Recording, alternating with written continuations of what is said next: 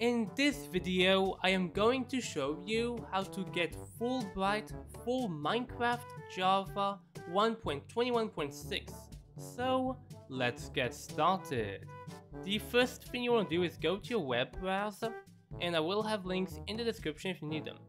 To begin, what you want to do is go to your search bar and search up Iris Shaders, like so.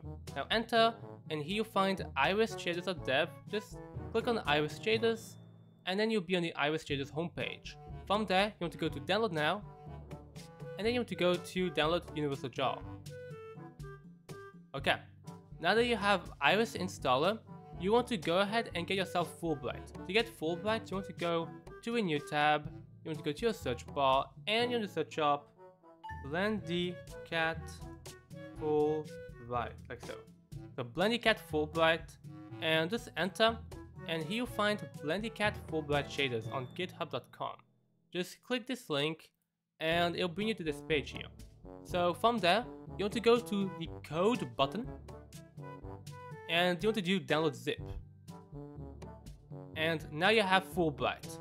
If you can't run the .jar installer, what you need to do is go to a new tab, you need to go to your search bar and you need to search up JDK24, enter that in, and here you'll find Java downloads on oracle.com just click Java Downloads, and then you'll be on this page. So from there, just do accept all, and then you want to go ahead and scroll down, you'll find JDK24, you'll find Windows if you're using Windows, and here you'll find the x64 installer.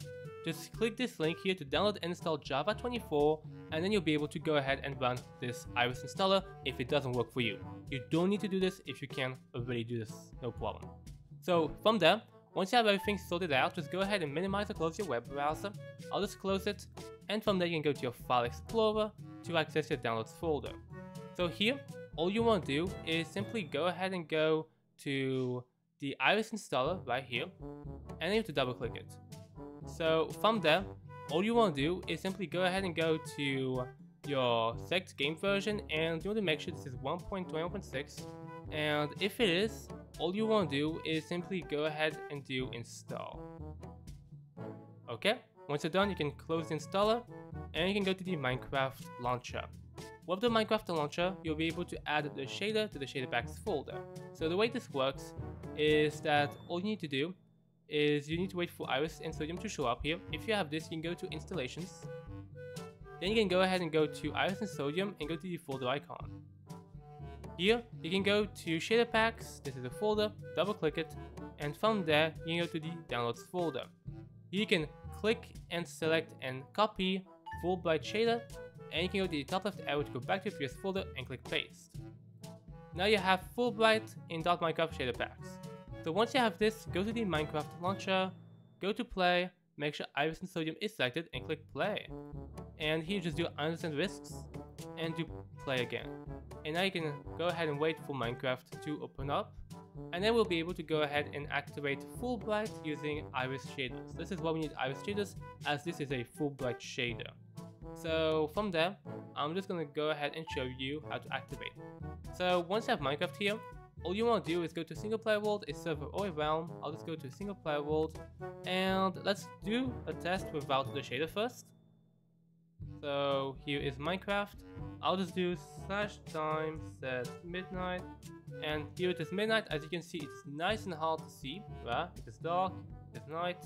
And what you want to do here, to enable the shader, you want to do escape, options, video settings, shader packs, and Fullbright here.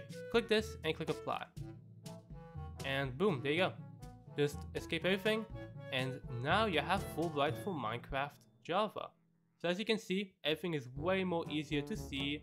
You can see underground as well, like so. So if there's some ores, you can go ahead and see that.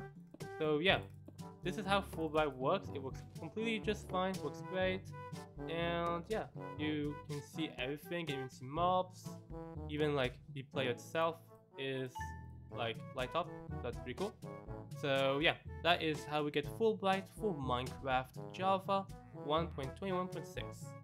So if you liked today's video, make sure to like and subscribe and see you for the next one.